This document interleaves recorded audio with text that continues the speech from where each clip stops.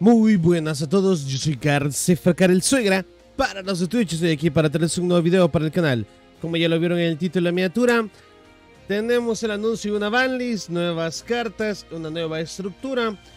Todo anunciado para salir próximamente. Y siendo sincero, pues ya era hora que anunciasen algo en el Master.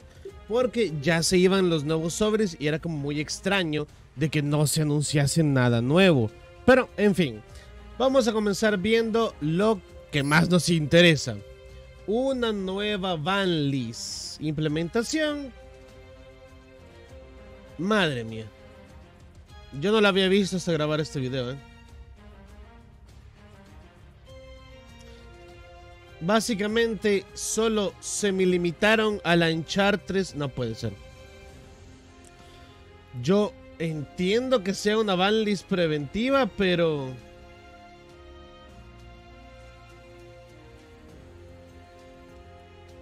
Madre mía.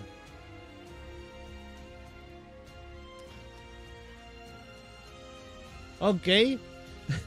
Ahora sé por qué me... Yo no lo había visto. Hasta antes de grabar este video me habían dicho que... Oye, Cefra, la banlist es una caca. Y pues, ¿qué te digo? Las únicas cartas que... Movieron, por así decirlo. Es la magia. Ay, Dios. Esta es la carta que incluso ya aparece reflejado. Eh, me parece bastante increíble. Espera, ¿dónde está mi cámara? Ahí está. Me parece bastante increíble, te lo juro, de que... Solo esto.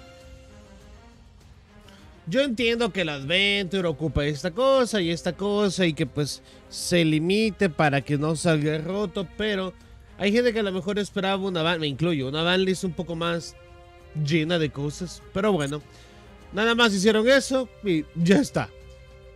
La nueva estructura del Dragon Maid. Ay Dios. House of Dragon Maid, Dragon Maid Shinhou, Dragon Maid Hospitality, UR... Ah, mira, al menos viene el Jeratic ahí y el Dragon Mirror.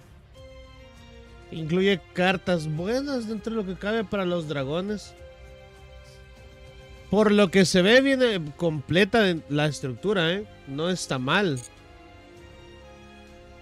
Luego, un nuevo Selection Pack is here. Julio 10, Selection Packs. UR... What? Ah, la madre, madre mía, las URs, ¿eh? UR Water Enchantress of Temple. Esto, vaya, es esta carta, la muy popular.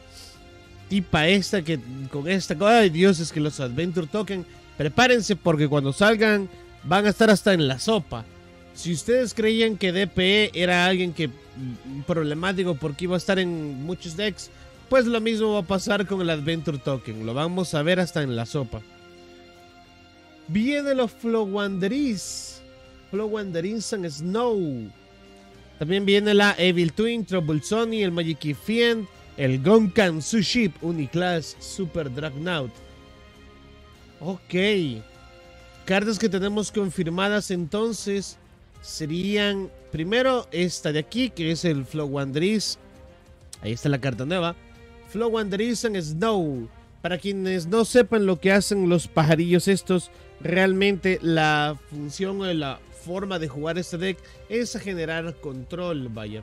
Una vez por turno, mientras tú controles esta carta tributada, tú puedes hacer hasta 3 normal, aunque esta realmente no es una carta que se utilice a muchas copias. De hecho, creo que hay versiones que juegan uno o ninguno, si no estoy mal, pero bueno. Puedes hacer 3 normal summon sets, no uno. Mientras esta carta está tributada en la zona de monstruos, si tu oponente ataca a un monstruo en defensa, bueno, perdón, si un monstruo ataca a un monstruo en defensa, inflige daño de batalla a tu oponente. Durante el turno del oponente, efecto rápido, tú puedes remover una carta de la mano, cambia todos los monstruos invocados de manera especial que el oponente controle a defensa boca abajo. Eso es todo, no hay más. Ya... Espera, espera, espera, espera, espera.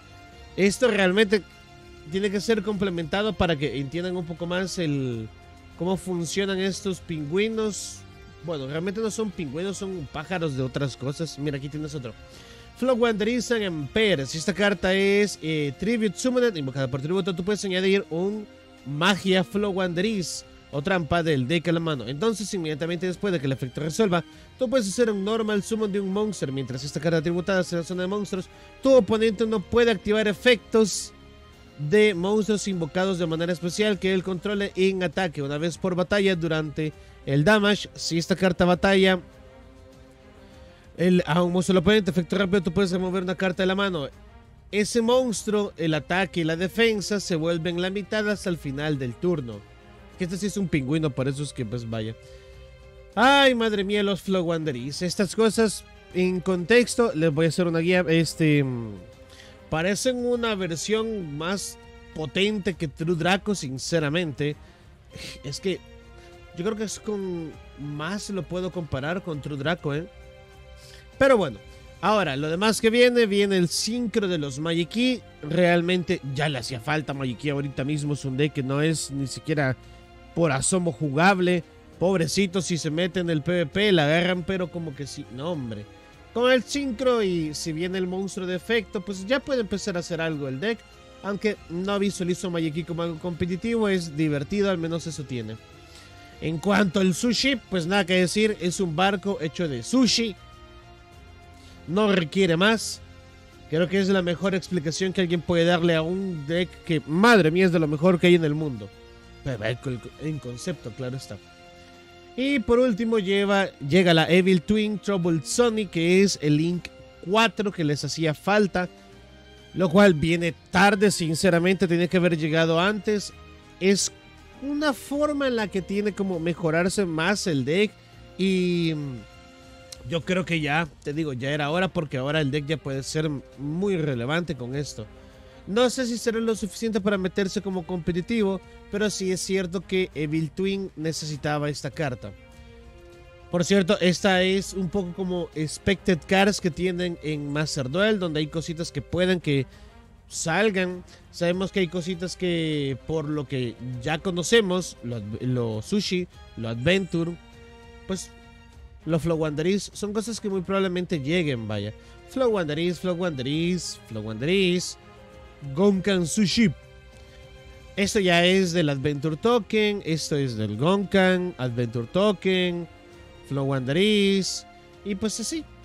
Ahora, me hicieron una consulta sobre si ya con saber que vienen estas cartas, que de hecho eh, ya pueden algunas personas ver en la Google Play que aparece ya el anuncio de los sobres. Y a mí me sorprendió, de hecho, pinche Google Play, cómo se le filtran las cosas, o lo anuncian sin querer, qué sé yo. Pero me consultaron sobre si vale la pena. Y siéndoles completamente sincero, yo aconsejo que deberían de tener lo Adventure Token. Si bien es cierto que le acaban de pegar a esta carta, vaya, este... Yo aconsejo bastante que tengan las cartas Adventure Token. Es un engine genérico que puede ir en muchísimos decks. Y lo que hace, madre mía. Es, que te digo, es como un DPE, vaya. Pero hasta cierto punto, incluso en algunas ocasiones puede ser un poco más versátil. Pero bueno, por cierto, sabemos que eh, Refinite Blade se va a ir, ojo a esto, 23 horas del 10 de julio. Esta es la hora del Salvador, así que verifiquen la hora en sus países.